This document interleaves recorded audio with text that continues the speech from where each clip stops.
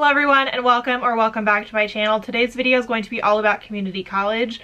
I have a series about community college that is going to be posted on my channel over the next few videos. And all of these videos are going to be related to whether community college is the right fit for you out of high school, how to transfer out as a community college student. The video I posted on Friday was all about how to transfer to UCLA as a transfer student out of community college. But I also have future videos coming up about how to apply out of state, how to apply to private schools, um, as well as how to find resources at your community college. So if you have any questions, please leave a comment down below or shoot me a DM on Instagram. I'd be happy to answer those questions for you. I think that this information is very valuable and a lot of what I'm going to be telling you today and over the next few weeks is related to advice that I wish I had been given and information that I wish I had known. So today's video is going to be my five tips for deciding whether community college is the right decision for you when you're a senior in high school. So I will give a little bit of backstory throughout this video as to why I personally decided to go to community college, but there's a multitude of reasons why community college is a great choice and why I actually strongly recommend it over four-year universities, but that ultimately depends on your personality and your goals. I wanted to start out this video by saying that community college sometimes gets a bad rap. Uh, it is often perceived as a place where people go when they couldn't get into a four-year university. And I want to kind of dispel that myth. Community college is a place where you can grow at your own pace without paying the cost of a four-year university. Oftentimes people will go to a four-year university and not know how to really thrive on their own and without the pressure of their parents. And so community college is a good option for those students that need a little bit more time to grow into themselves and to figure out what it is they want to get out of university. So with that being said, I just wanted to make sure that I kind of dispel this social belief that community college is for lesser students. I don't believe that at all. I think that transfer students are sometimes the strongest students in the classroom at a four-year university. That was definitely my experience when I was at UCLA. I think that sometimes they offer more perspective and diversity to a university campus. And I think that ultimately becoming a community college student is an investment in your future if you make it so. So tip number one is if you're financially unable to leave home or if you're financially unable to pay for a four-year university. It is well known that community college is a lot less expensive than a four-year university and oftentimes you're going to be able to live at home which either you can live there for free or you can live there for a reduced cost. I personally moved out right after high school. So when I was 17, I went to my parents and told them that I wanted to go to community college and I wanted to pursue my riding career. Uh, I ride horses professionally and at the time I had an opportunity to start training to become a professional and I didn't want to pass that up in order to leave for a school that I wasn't all that excited about. Uh, my parents, while they were relatively understanding, did say that if I wanted to be an adult and make that decision, then I was ultimately going to have to be an adult and move out. So my decision to go to community college was not just one made out of financial cost, it was really made out of an opportunity. And I moved out. I did not live at home. I lived in an apartment near a community college about two hours away from my hometown. And I used community college as my stepping stone into my personal academic career, but also allowing me to pursue my professional riding career. The investment in my time and the investment in my community college classes was incredibly valuable to me. But to go back on number one, the financial cost of a community college versus a four-year university, especially a private four-year university, is rather extreme. I'm actually going to write a blog post on my new website, which should be launching next week, um, all about community college and the stats and the costs, uh, as well as my own personal experience. But for the sake of this video, if you cannot afford to go to a four-year university, community college is an excellent option. It also allows you to live at home if that is an option for you.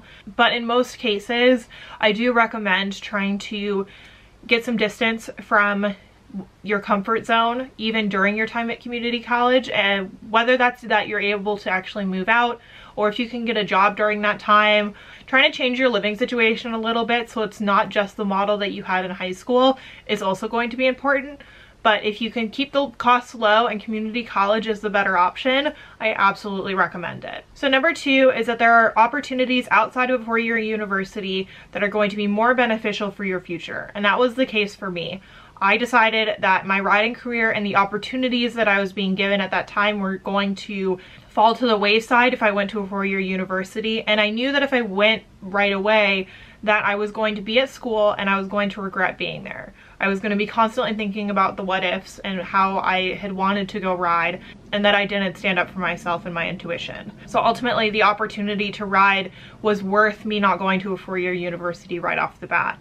And for you, whether that's like you want to get a job or you have an opportunity back at home or you have an opportunity in a different area and the four-year universities just don't seem like they're going to offer you what you need at that time, it's going to be up to you to decide whether a four-year university or a community college is going to be the most beneficial for your future.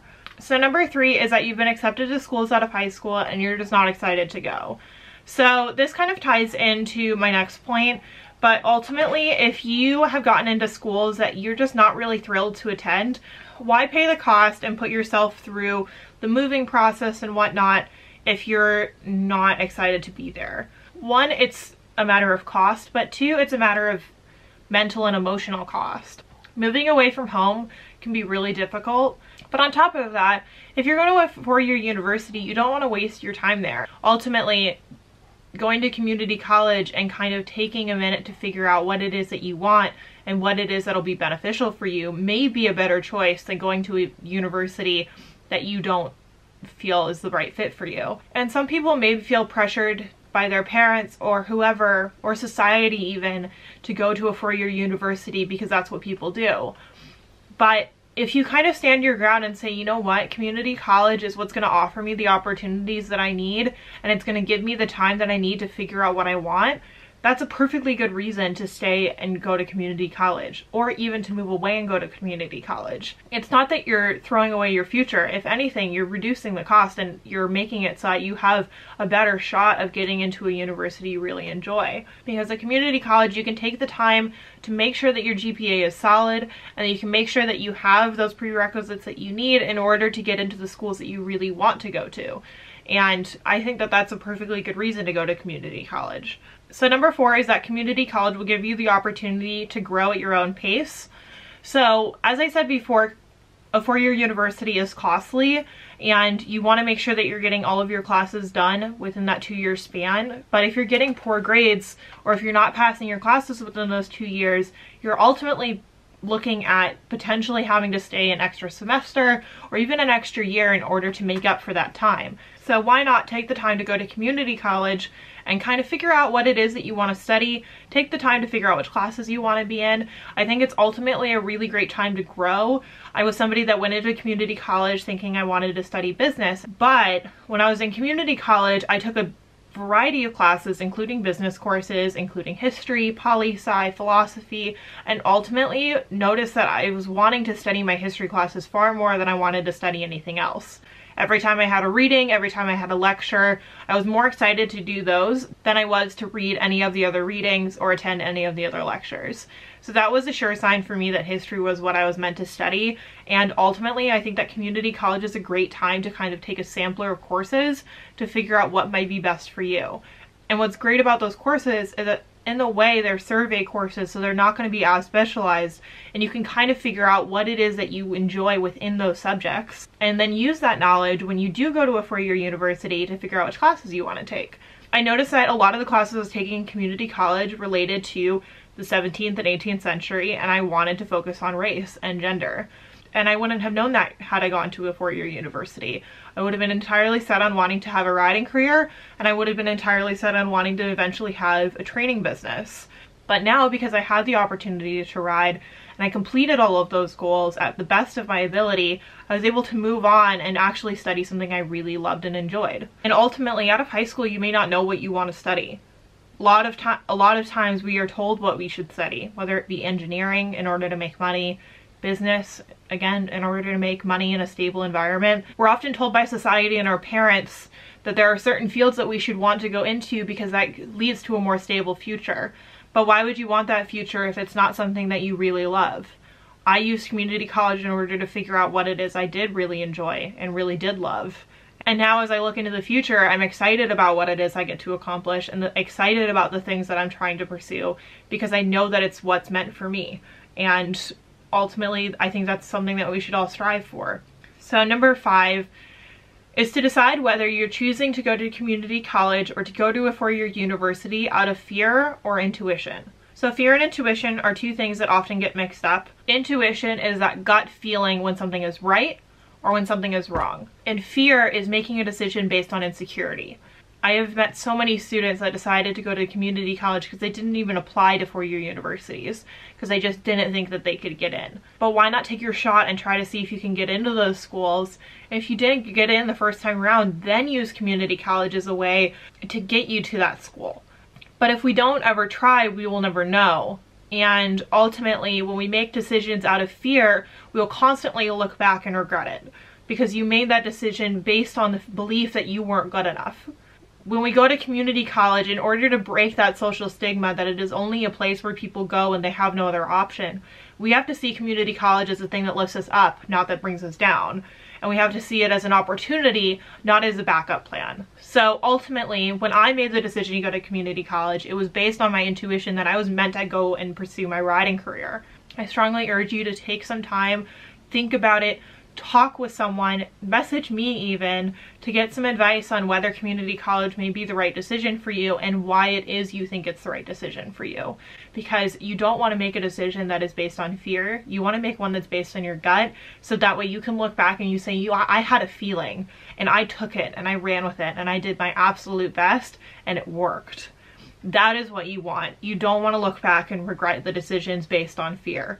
Alright, so we've now come to the end of the video and I do hope that you really enjoyed it and that it was helpful for you. If you ever need a friend and if you ever want to discuss how community college may or may not be the option for you, please feel free to send me a message, whether it be in the comments down here or DM me on Instagram. I really want this channel to be a place where I can connect with you guys and help you through your own process as I did because oftentimes I did a lot of the decision making on my own but ultimately like I said in tip number five you should make decisions based on intuition and if you need a little help and you need somebody to kind of talk you through it, then go to your friends, go to your family if you can, or even go to a stranger that may have some insight. I'm going to be writing up a blog post all about this and the stats uh, which I will be posting once the website is live. So go over to my Instagram, that's where I'm going to be posting when that website is live, as well as the blog post. But we've now come to the end of the video and I wanted to say thank you for watching until the end. If you did, please let me know down below. I, I love knowing when you guys find this information helpful and whether you're actually watching these videos all the way through. And in addition to that, please give this video a thumbs up. It really helps me out. And if you would like future videos just like this one, hit that subscribe button and I'll see you in the next one. Thanks guys. Bye.